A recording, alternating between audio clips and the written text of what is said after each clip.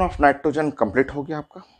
सो eight method था preparation for nitrogen वो complete next था physical property and chemical property chemical property तो बहुत कम है। नाइट्रोजन मोस्ट इनर्ट गैस में आता है, उसका बहुत कम केमिकल प्रॉपर्टी है, जो है हम लोग डिस्कस करेंगे। तो सबसे पहले फ़िज़िकल प्रॉपर्टी फ़िज़िकल प्रॉपर्टी जैसे नाइट्रोजन इस रूम में, आपके स्टडी रूम में सबसे ज़्यादा नाइट्रोजन है। बट देखिए तो कलरलेस कहीं कलर नहीं दिखता है। ऑर्डरलेस स्मेल करेंगे, कहीं स्मेल नहीं दिखेगा, कहीं फील नहीं होता स्मेल ठीक है? टेस्टलेस कहीं कोई टेस्ट नहीं है नॉन टॉक्सिक गैसेस हैं। तो जो छोटा छोटा प्रॉपर्टी है, वो हम लोग डिस्कस करते हैं कि nitrogen gas at room temperature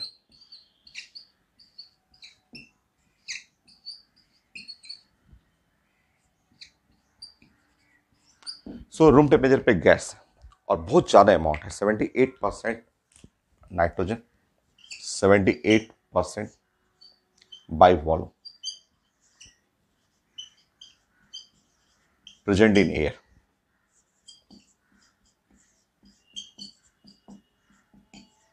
so air में सबसे ज़्यादा नाइट्रोजन गैस ही। है ठीक है? कलरलेस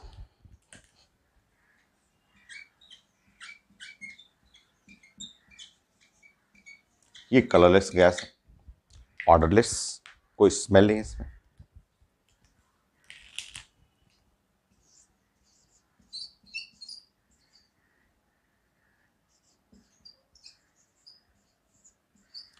टेस्टलेस कोई टेस्ट नहीं इसमें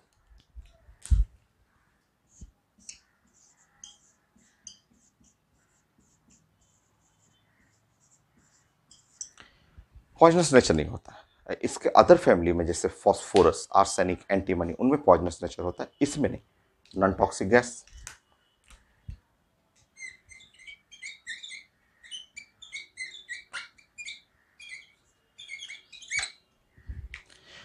so colourless है ऑर्डरलेस है, और टेस्टलेस हुआ नॉन टॉक्सिक गैस है, और इसके टू आइसोटोप्स फॉर्म में एग्जिस्ट करता है।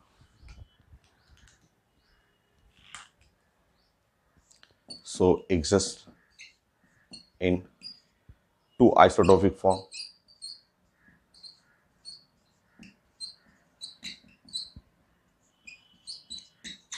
एक है नाइट्रोजन और सेवन फोर्टीन और दूसरा है नाइट्रोजन सेवन फिफ्टीन ये दो आइसोटोपिक फॉर्म में एक्सिस्ट करता है।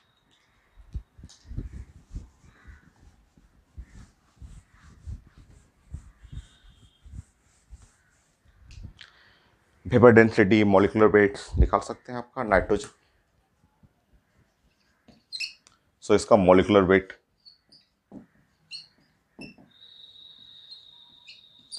so fourteen plus fourteen twenty eight gram per mole, ऐसा। Twenty eight gram per vapour density V D vapour density,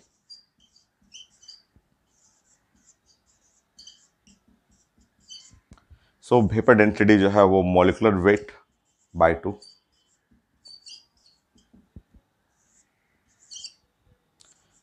So actually molecular weight by two का two का मतलब होता है molecular weight of hydrogen molecular weight by two जो two है ना वो मॉलिकुलर वेट हाइड्रोजन का होता है तो यहाँ ट्वेंटी एट बाई टू कोई यूनिट नहीं होगा यहाँ पे।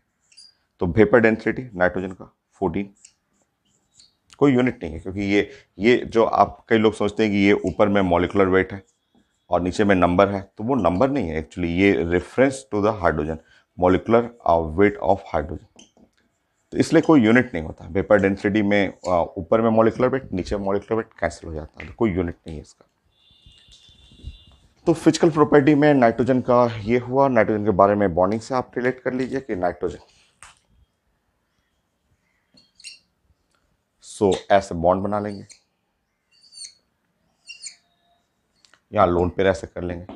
आप जानते हैं इसका हाइब्रेशन एस इसका हाइब्रेशन एस और इसमें एक सिग्मा और दो पाई बॉन्ड है। ये बॉन्ड है, ऊपर में बॉन्ड है पाई, ये बॉन्ड है पाई और बीच में जो बॉन्ड है वो है सिग्मा। तो one sigma and two pi bond है इसमें, ठीक है? हाइब्रिडेशन हो गया, bond order three. So bond order bond order number of bond number of MOT molecular orbital theory में बहुत पढ़ा हुआ, सौ क्वेश्चन किया हुआ। तो बॉन्ड ऑर्डर यहाँ थ्री हो गया आपका एमओटी से। नन पोलर कोपलेंट बॉन्ड है, ये बॉन्ड में दोनों साइड में सेम एटम है तो ये बॉन्ड को आप बोलेंगे non polar covalent bond covalent bond जो कि बहुत ज़्यादा स्ट्रांग बहुत स्ट्रांग बॉन्ड है। टूटता ही नहीं है। एक तो ट्रिपल बॉन्ड है, दूसरा की पोलरिटी भी नहीं है तो strong bond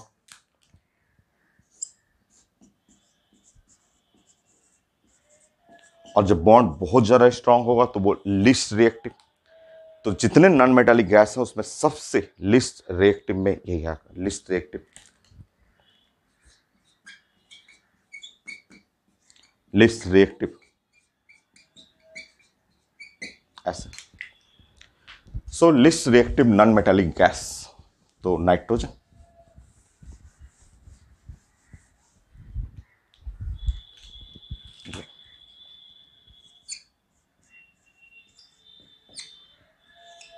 so least reactive non metallic gas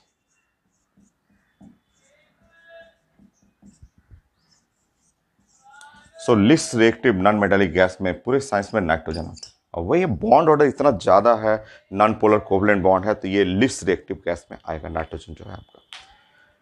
सो so, नाइट्रोजन जो होता है use to produce inert atmosphere inert atmosphere non reactive है ना नाइट्रोजन किसी से रिएक्शन नहीं करता ठीक है? तो use to produce inert atmosphere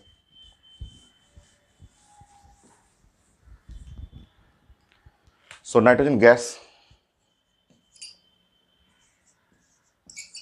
used to produce.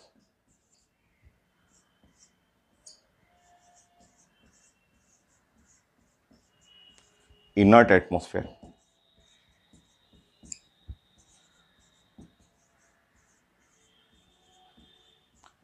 So inert atmosphere inert atmosphere का मतलब non reactive atmosphere in food packet food packet में in electric bulb inert atmosphere in food packet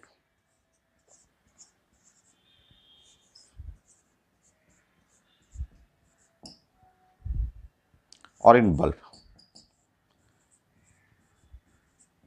तो फ़ूड पैकेट और bulb के अंदर inert atmosphere inert atmosphere का मतलब non reactive atmosphere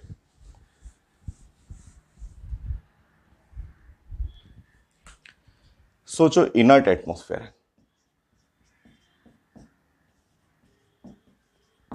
या आपको नॉन रिएक्टिव इनर्ट एटमॉस्फेयर का मतलब होता है non non reactive atmosphere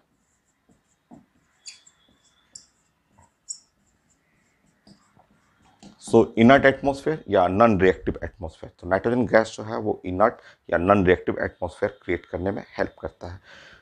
तो ये जैसे चिप्स पैकेट चिप्स पैकेट के फिलिंग में यूज़ होता है। जैसे आप कोई भी प्लास्टिक का चिप जैसे चिप्स पैकेट लेते हैं पोटैटो चिप्स लेते हैं तो वो प्लास्टिक के पैकेट में रहता है। तो वो पैकेट देखते हैं, काफ़ी फुला हुआ रहता है। खूब फुला हुआ रहेगा। तो फुला हुआ रहता है उसमें नाइट्रोजन गैस फील किया हुआ है। तो कोई भी जैसे आप चिप्स पैकेट ले रहे हैं तो ये ऐसे देखते हैं कि पैकेट में चिप्स तो कम रहता है, बट वो पूरा फुला हुआ रहेगा। कोई भी चिप्स, जैसे ये चिप्स है, यहाँ पे ऐसे चिप्स रखा हुआ है तो ये।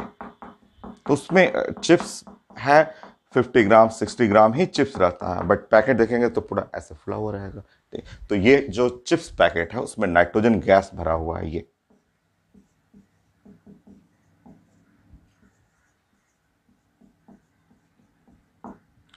Filled with nitrogen gas.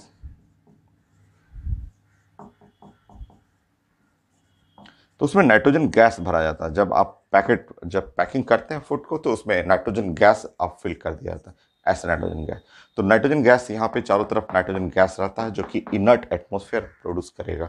आप बताइए चिप्स जो पोटैटो चिप्स है पोटैटो खुद उसके अंदर स्टार्च होता है। जब उसको फ्राई किया जाएगा तो ऑयल आ जाएगा ऑयल का कोटिंग हो जाएगा।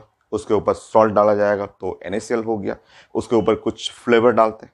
पोटैटो फ्लेवर है टोमेटो फ्लेवर है, वो उसके ऊपर पाउडर डालते हैं तो भी केमिकल है।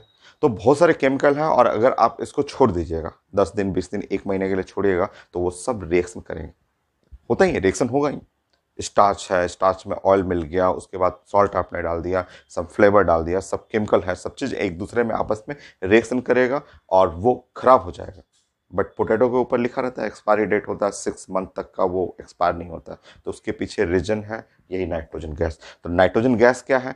खुद टेस्टलेस है, खुद जो कलरलेस है खुद ऑर्डरलेस है तो ये क्या करेगा? जैसे ही इसमें भर देंगे, पूरा पैकेट फुल जाएगा तो अंदर जाके चारों तरफ़ इनर्ट एटमॉस्फेयर क्रिएट कर देता है। जब इनर्ट एटमॉस्फेयर है तो कोई एक दूसरे से रिएक्शन नहीं करेगा, या जस्ट कोई भी बाहर का मटेरियल कोई भी बाहर का जो कोई भी ऑक्सीडाइजिंग रिड्यूसिंग एजेंट उसको डैमेज नहीं करेगा। तो नाइट्रोजन गैस जो होता है फ़ूड के पैकेट में फ्रोजन फ़ूड है या रोस्टेड फ़ूड है, जो सिल्ड फ़ूड जो मिलता है मार्केट में, उसमें नाइट्रोजन गैस भर दिया जाता है, पूरा फिल कर देते हैं, क्योंकि ये क्रिएट करेगा इनर्ट या नॉन रिएक्टिव एटमोसफेयर नहीं भरिएगा तो ये चिप्स के ऊपर जो है, वो एयर का ऑक्सीजन या अदर मेटेरियल ऑक्सीडाइज कर देगा उसको और उसके ऑयल से रिएक्शन करेगा सॉल्ट से रिएक्शन करेगा स्टार्च से और जो भी उसके ऊपर केमिकल जस्ट स्प्रे किया हुआ, उस सबसे रिएक्शन कर लेता है। तो फ़ूड का पैकेट में नाइट्रोजन गैस फिल करते हैं, वो इनर्ट एटमोसफेयर प्रोड्यूस करने के लिए बल्ब में भी, पुराना बल्ब। अभी वाला बल्ब नहीं, अब तो हम लोग एलईडी यूज़ करते हैं, अभी अपने स्टडी रूम में एलईडी यूज़ करते हैं बट पहले के टाइम में। पहले टाइम में जो बल्ब जो होता है, वो ग्लास का बल्ब रहेगा, जिसमें टंगस्टन फिलामेंट वो ऐसे, जो फिलामेंट वाला बल्ब है तो फिलामेंट टंगस्टन का यूज़ करते थे तो उसमें नाइट्रोजन गैस भर देते थे। क्योंकि ये फिलामेंट जो है, जैसे जलेगा हाई टेम्परेचर वो जलते हुए दिखता है। वो पूरा आपको एक स्पायरल रहता है, उसके अंदर फ्लेम जलेगा, दिखता है। हाई वोल्टेज होता है, खूब बहुत ज़्यादा एनर्जी कंज्यूम करता था, पुराना बल्ब होता था। तो उसमें अगर टेम्परेचर ज़्यादा रहेगा तो एयर में रिएक्शन हो जाएगा। तो उसके चलते इसमें पूरा नाइट्रोजन गैस को भर देते हैं। तो नाइट्रोजन गैस जो हो जाएगा वो कम्प्लीटली इनर्ट पूरा चारों तरफ़ इनर्ट एटमोसफेयर प्रोड्यूस कर देता है। तो यह नाइट्रोजन इनर्ट एटमोसफेयर प्रोड्यूस करने में हेल्प करता है। तो चिप्स पैकेट में, फ़ूड का पैकेट में और इलेक्ट्रिक बल्ब में, पुराने बल्ब में गैस फिल किया जाता है। Now nitrogen gas use to produce a very low temperature low temperature बनाने में भी नाइट्रोजन गैस काफ़ी हेल्प करता है। तो use to produce low temperature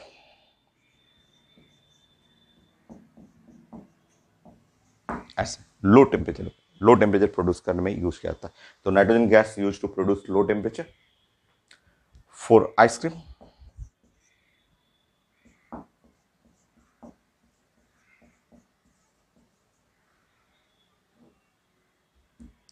ice cream के लिए। तो समझिए इसमें।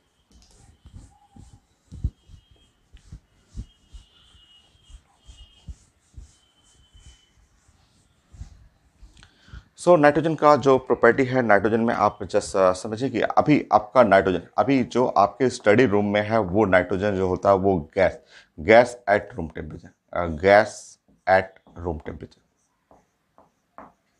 so room temperature पे ये जो है वो गैस रहेगा. ऐसे गैस एट रूम टेम्परेचर ठीक है? और इस नाइट्रोजन जो है, वो नाइट्रोजन जो इस नाइट्रोजन का अगर हम लोग डिस्कस किए थे, अभी हम लोग ने एन में लिखा हुआ है कि इसका बॉइलिंग पॉइंट तो बॉइलिंग पॉइंट जो है, वो 77.2 केल्विन ये है 77.2 केल्विन ठीक है? तो 77.2 केल्विन है, ठीक है? अगर 273 से घटाएँगे इसको, या फिर आप ये टेम्परेचर बोल रहे हैं, ये टेम्परेचर जो है कैपिटल टी 77.2 केल्विन या स्मॉल टी करेंगे तो स्मॉल टी जो हो जाएगा माइनस ठीक है? तो उसका 273 और पॉइंट ज़ीरो इसमें 77.2 घटाइए इसमें से तो यहाँ हो गया 8.8 और 12 5 और यहाँ पे 6 तो चेक करेंगे 195.8 सो ज़ीरो हो गया और ये ज़ीरो थर्टीन थ्री और वन ठीक है? तो minus one five, minus one five point eight degree centigrade. तो ये देख रहे हैं very very low temperature minus one ninety five point eight पे, डिग्री सेंटीग्रेड पे। तो इस इस टेम्परेचर पे नाइट्रोजन जो होता है, वो लिक्विड हो जाता है। लिक्विड इस पे लिक्विड रहेगा। तो liquid at at minus 195.8 degree centigrade तो लिक्विड नाइट्रोजन यहाँ जो लिक्विड जो नाइट्रोजन है, वो है आपका minus minus one ninety five point eight degree centigrade पे। ये आप अभी पढ़े थे seventy seven point two kelvin इसके ऊपर वो गैस हो जाएगा और इसके नीचे वो लिक्विड रहेगा। और इसमें से डाटा घटाइएगा, जैसे आपका फोर्टीन फोर्टीन और डाटा घटा देंगे तो ये आपका गैस सॉलिड बन जाएगा। तो नाइट्रोजन जो है वो सॉलिड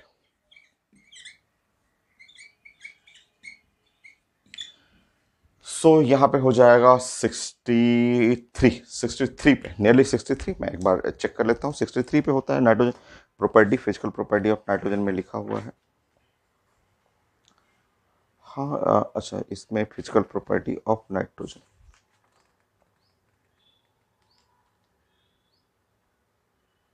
oxygen के लिए लिखा हुआ इसको।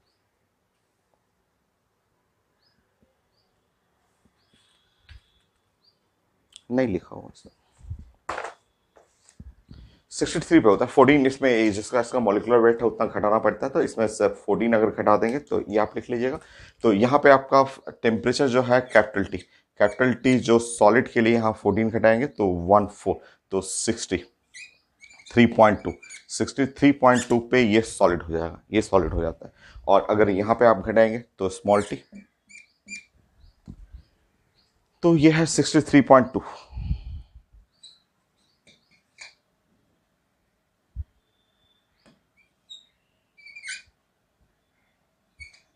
so two zero nine point eight so recheck करेंगे यहाँ पे आपका वन टेन थर्टीन वन हाँ two zero nine point eight minus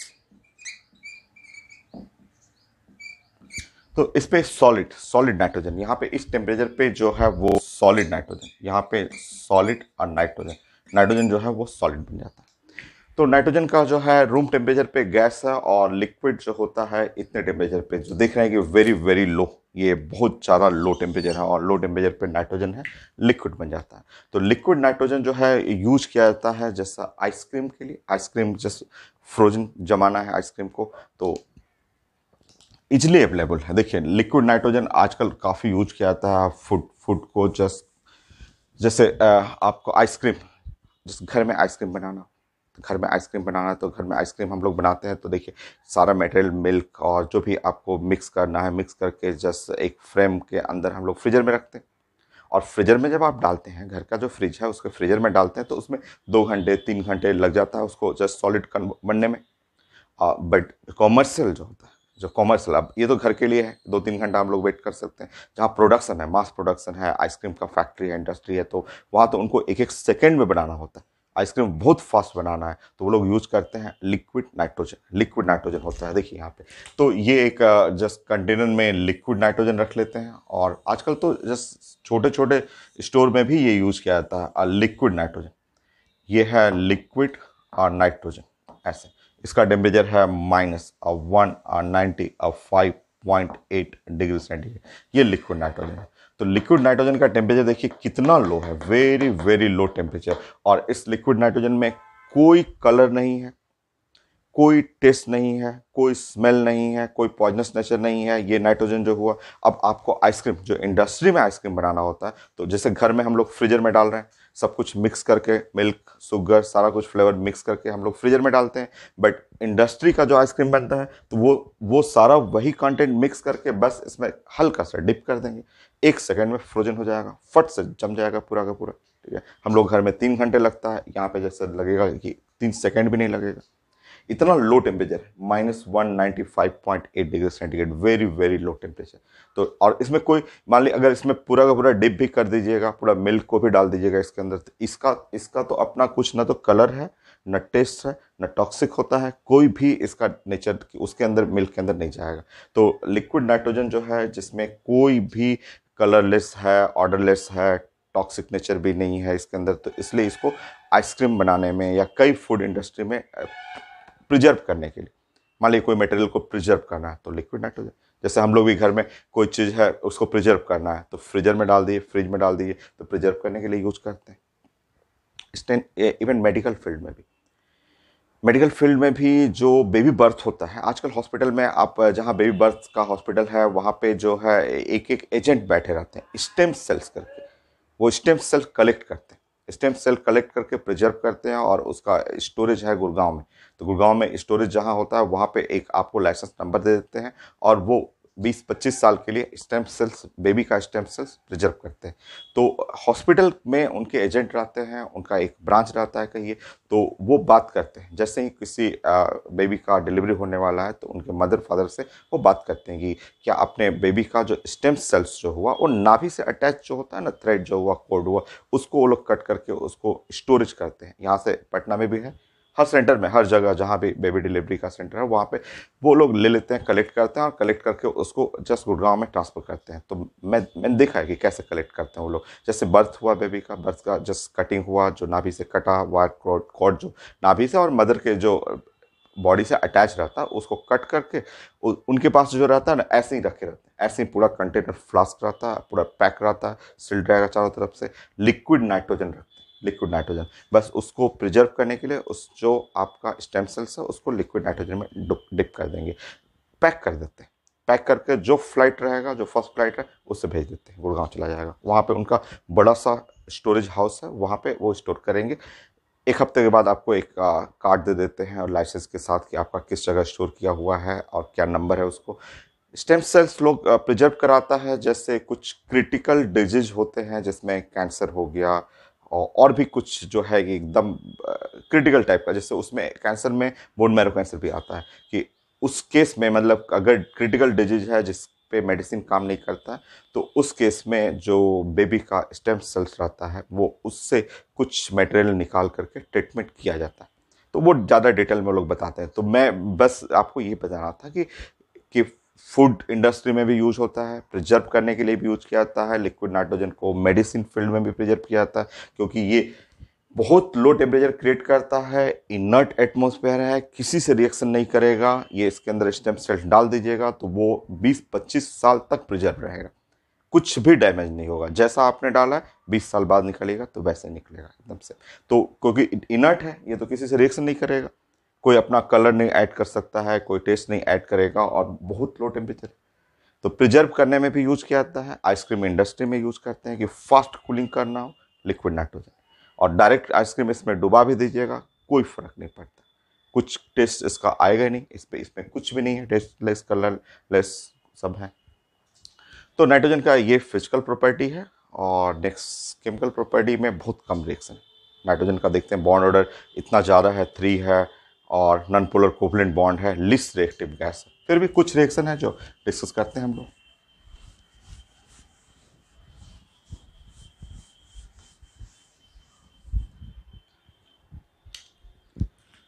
chemical property of nitrogen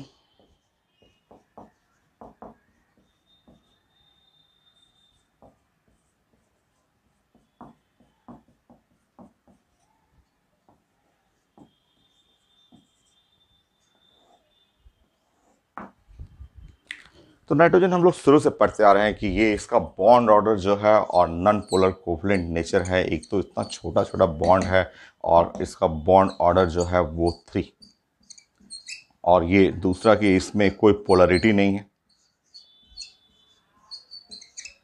non polar covalent bond जिसके चलते ये लिस्ट रिएक्टिव हो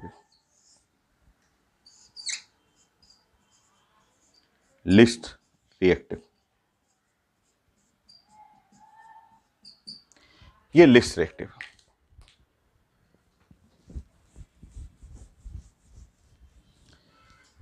सो रिएक्शन करता है, कहाँ कहाँ पे रिएक्शन होता है तो एक वन ए और टू ए में। बहुत कम रिएक्शन है तो देखिए one A one A alkali metal और two A alkaline earth metal. यहाँ देखिए लिथियम और सोडियम। पोटेशियम, रूबीडियम और सीज़न। ये है बेलियम, मैग्नीशियम, कैल्शियम स्ट्रेंशियम और बेरियम। हम लोग पढ़े हुए हैं, अपने टेंथ क्लास में भी पढ़े हुए हैं। टेंथ क्लास में भी था और मैं भी क्लास में बताया था कि ये लिथियम और मैग्नीशियम। लिथियम, मैग्नीशियम में डायगोनल पेयर होता है। ये इनमें सिमिलर नियरली सिमिलर प्रॉपर्टी होता है। लिथियम और मैग्नीशियम का प्रॉपर्टी नियरली सेम होता है, क्योंकि इनका आयनिक रेडियस सेम होता है। सब पीरियोडिक टेबल में हम लोग पढ़े हुए हैं कि लिथियम मैग्नीशियम में डायगोनल रिलेशन होता है। तो ये डायगोनल पेयर कहलाते हैं। तो इनमें नाइट्रोजन का रिएक्शन है। दोनों से रिएक्शन है आपका।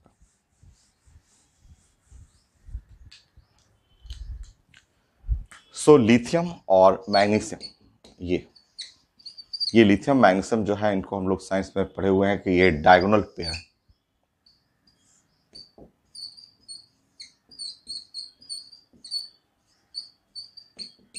डायगोनल पेयर में nearly same property nearly same property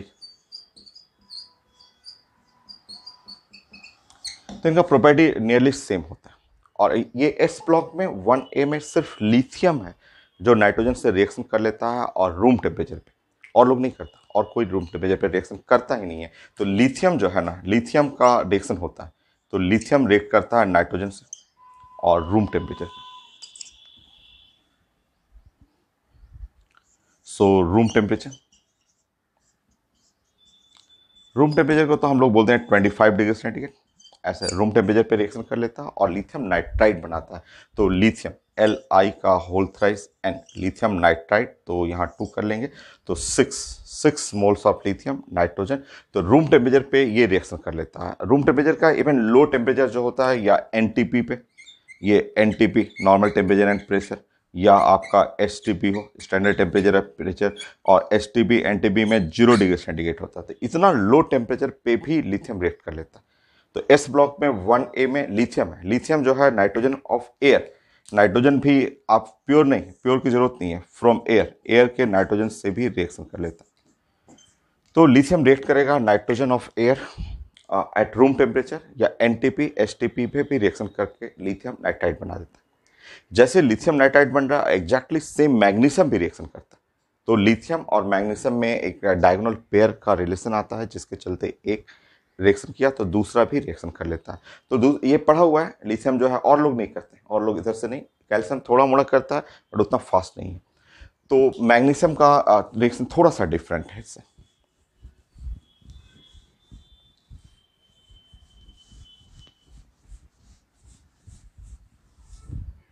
देखिए मैग्नीशियम भी रिएक्शन करता है और एयर ये एयर से रिएक्शन करेगा।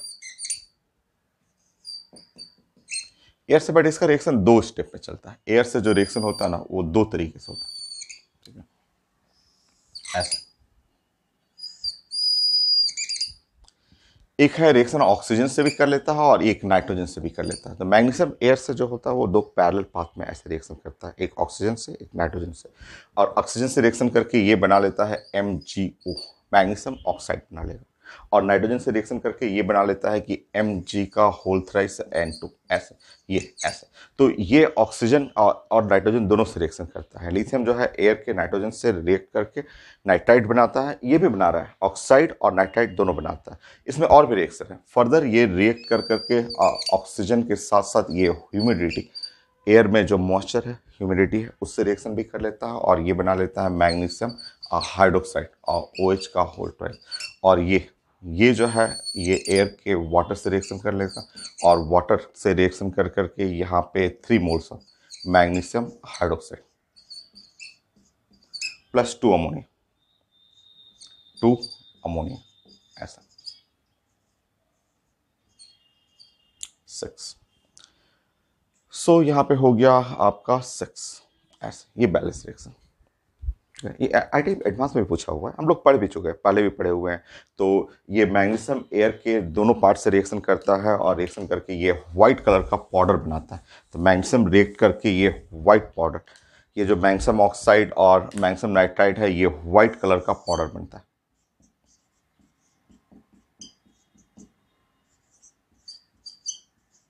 और ये वाइट पाउडर मिक्सचर होता है, इसका और इसका मिक्सचर है। और ये मिक्सचर वाइट पाउडर होता है।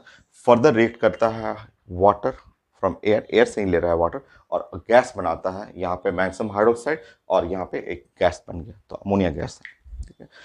तो ये है नाइट्रोजन से रिएक्शन, यहाँ मैग्नीशियम करता है रिएक्शन। कैल्शियम भी करता है, बट उतना फास्ट नहीं है। आप लिख सकते हैं, कैल्शियम का भी एग्ज़ाम में आ चुका है। तो कैल्शियम भी रिएक्ट करता है नाइट्रोजन से। बहुत फास्ट तो नहीं है, बट रिएक्शन करता है और बना लेता है सी का होल थ्राइस एन टू देखिए, ये भी व्हाइट पाउडर का। Actually alkali metal alkaline earth metal का जितना भी कंपाउंड है, सब सिल्वरी वाइट कलरलेस है तो ये भी वाइट पाउडर रहेगा।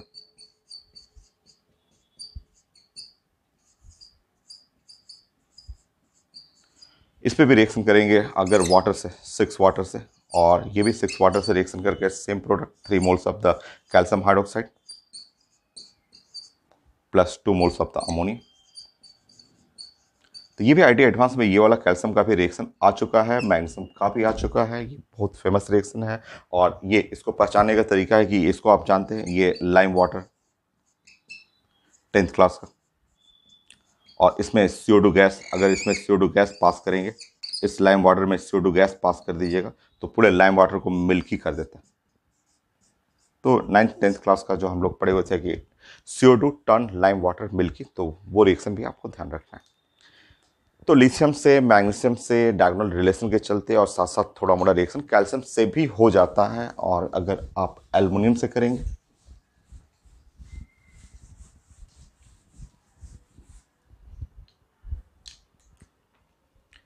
सो एल्युमिनियम रिएक्ट करता है नाइट्रोजन से। और अगर आप वैलेंसी ऑक्सीडेशन स्टेट बैलेंस करेंगे तो एल्युमिनियम नाइट्राइड एल्युमिनियम नाइट्राइड क्योंकि एल्युमिनियम का फिक्स है ऑक्सीडेशन स्टेट फिक्स है। और नाइट्रोजन थ्री माइनस, ये फिक्स है। तो बैलेंस करेंगे तो यहाँ पे आप कर लीजिएगा, यहाँ पे थ्री कर लीजिएगा। So six six aluminium nitride हो गया। ये ना एल्युमिनियम में अगर इसके कंपाउंड से भी रिएक्शन करना चाहें, जैसे ए एल टू और ओ थ्री और प्लस और एन टू और थ्री मोल्स ऑफ़ कार्बन ऐसे। तो ये ये भी रिएक्शन कर लेता है, और यहाँ बन जाता है आपका टू एल्युमिनियम नाइट्राइड। सो ये aluminium, nitrogen, two aluminium nitride और plus three moles of carbon monoxide ऐसे गैस बन गया ये। तो रिएक्शन यही है आपका नाइट्रोजन का, बहुत कम रिएक्शन है। कैल्शियम कार्बाइड से रिएक्शन करता है, वो आप लिख सकते हैं। Calcium carbide so calcium carbide से भी नाइट्रोजन रिएक्शन कर लेता है सी एस सी टू और नाइट्रोजन रिएक्शन करके नाइट्रोलिम कुछ प्रोडक्ट बनता है सी ए एन और C N C A N C N plus carbon इसको नाइट्रोलिम बोलते हैं। नाइट्रोलिम फर्टिलाइज़र है। नाइट्रोलिम फर्टिलाइज़र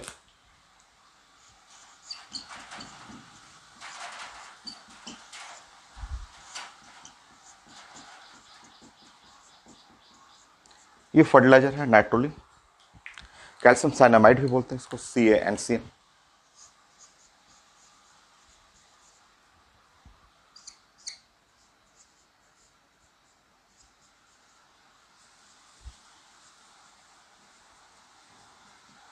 सो यह कैल्शियम साइनामाइड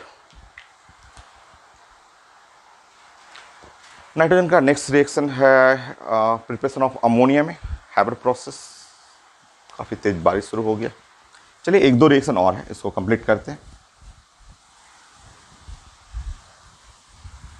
हाइबर प्रोसेस पढ़ेंगे प्रिपरेशन ऑफ़ नाइट्रोजन अमोनिया में तो nitrogen three moles of the ammonia hydrogen और ये रिएक्ट करता है, आपका कैटलिस्ट लेना है iron in presence of the molybdenum high pressure 200 to 300 atmosphere इसके बारे में मैं डिस्कस करूँगा डिटेल में।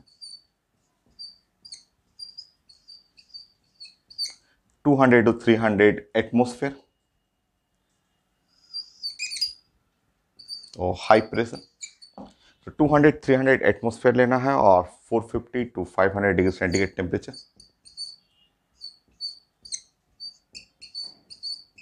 ये ऐसा टेम्परेचर तो इस तरह आपका ये दोनों कंबाइन करके two moles of the ammonia और ये रिएक्शन एक्सोथर्मिक रिएक्शन है. प्रिपरेशन ऑफ़ अमोनिया में एक काफ़ी फ़ेमस रिएक्शन है. इसके बारे में हम लोग नेक्स्ट क्लास तक डिस्कस करेंगे. और यहाँ पे जो है forty six kilo joule per mole. ये एक्सोथर्मिक रिएक्शन है। काफ़ी डिटेल में इसके बारे में पढ़ना है कि ये नाइट्रोजन का एक केमिकल प्रॉपर्टी भी है। नाइट्रोजन हाइड्रोजन से रिएक्ट करके आयरन कैटलिस्ट है मोलिबिडनम कैटलेटिक प्रमोटर है और हाई प्रेशर और हाई टेम्परेचर हमें देना है इस रिएक्शन के लिए। तो ये preparation of ammonia by Haber process Haber process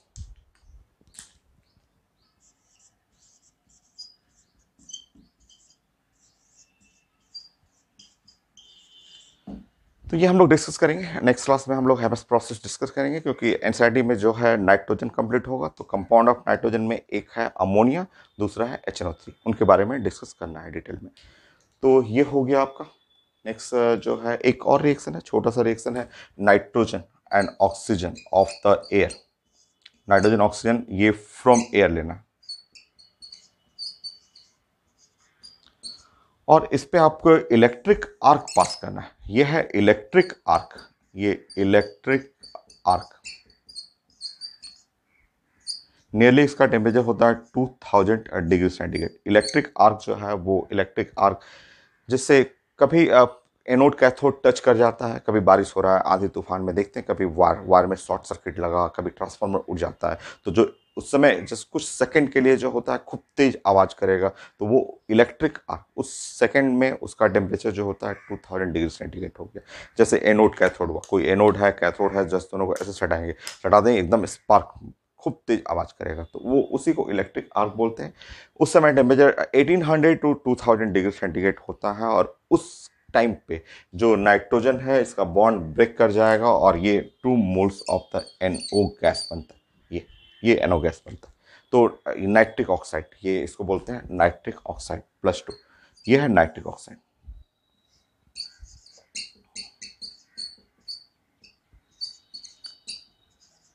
ये गैस। तो लैब में ये नाइट्रिक ऑक्साइड गैस बनाने के लिए या ये केमिकल प्रॉपर्टी ऑफ़ नाइट्रोजन में भी आता है कि इलेक्ट्रिक आर्क जो एनोड कैथोड को जब टच कराएँगे तो टच कराते ही उस समय इलेक्ट्रिक आर्क प्रोड्यूस होता है, जिसका टेम्परेचर 2000 डिग्री सेंटीग्रेड होता है। इतना हाई टेम्परेचर पे नाइट्रोजन का जो ट्रिपल बॉन्ड है, वो ब्रेक कर जाता है। ब्रेक करके ऑक्सीजन से रिएक्ट कर लेता है। ऐसे रूम टेम्परेचर पर रिएक्शन नहीं होता।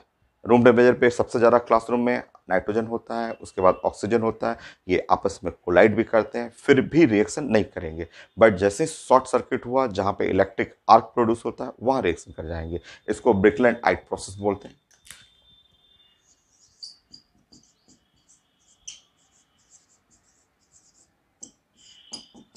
ये फिर से आएगा आपका। Preparation of H N O three में ये यूज़ होता है और ये रिएक्शन आप जो देख रहे हैं कि नाइट्रोजन ऑक्सीजन ये लैब में बनाने के लिए था। ये लैब में बनाया गया था जस्ट एनोड कैथोड को लेकर टच कराया गया था और उससे जो नाइट्रिक ऑक्साइड गैस बना था, इसका रिएक्शन हम लोग पहले कई बार, तीन बार, चार बार, पाँच बार तक पढ़ा हुआ हम लोग का क्लास में कि ये सेम रिएक्शन एटमोसफेयर में भी होता है।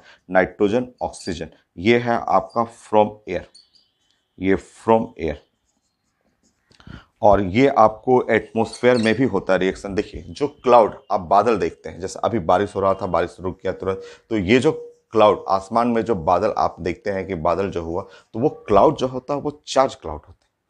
जो बादल जो होता है मॉइस्चर ह्यूमिडिटी का जो एक पूरा का पूरा एक बॉक्स रहेगा बैग रहता है, वो सब क्लाउड जो है, वो चार्ज क्लाउड होते हैं। किसी में प्लस चार्ज है, कोई प्लस है, कोई माइनस है, ऐसे कोई प्लस चार्ज है, फिर कोई माइनस चार्ज है, ऐसे सब चार्ज क्लाउड होते हैं। छोटे छोटे टुकड़े में चार्ज क्लाउड होते हैं और जब आंधी तूफ़ान आता है, जब बारिश के टाइम कई बार आंधी तूफ़ान खूब तेज, आंधी आने लगा तो आंधी आने में ये ये जैसे है खूब तेज खूब तेज मूव करेगा और ये जाके इसको टच करेगा। जैसे टच करेगा तो आसमान में बिजली चमकना। थंडरस्टॉर्म थंडरस्टॉर्म देखते हैं कि ये तो लैब का हुआ, इलेक्ट्रिक आर्क। एनोड है, कैथोड है, टच कराइए तो स्पार्क प्रोड्यूस होता है, उसका टेम्परेचर जो होता है two thousand degree centigrade exactly same होता है चार्ज क्लाउड जब चार्ज क्लाउड आपस में टकराते हैं, आसमान में जो है एक पॉजिटिव क्लाउड है, एक निगेटिव क्लाउड है और ये दोनों आपस में टकराए। टकराते ही यहाँ भी इलेक्ट्रिक स्पार्क प्रोड्यूस होता है, उसी को बोलते हैं थंडरस्टॉर्म जो आसमान में बिजली गिरती है बारिश के टाइम में, वो थंडरस्टॉर्म है। तो थंडरस्टॉर्म के टाइम पे भी जो एयर में गैस प्रोड्यूस होता है सेम ये लैब मेथड है और ये नेचुरल मेथड है। तो थंड स्टॉम आप जानते हैं कि थंड स्टॉम जो हुआ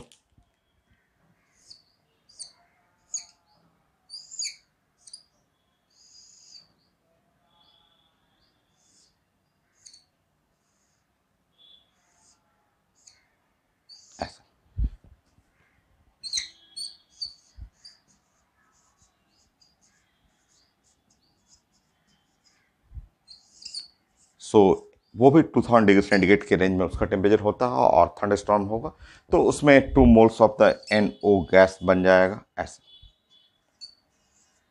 पढ़ा हुआ है, ये इसमें हम लोग डिस्कस कर चुके हैं आईटी मेन का क्वेश्चन आ चुका है, हम लोग बॉन्डिंग में भी पढ़े हुए हैं।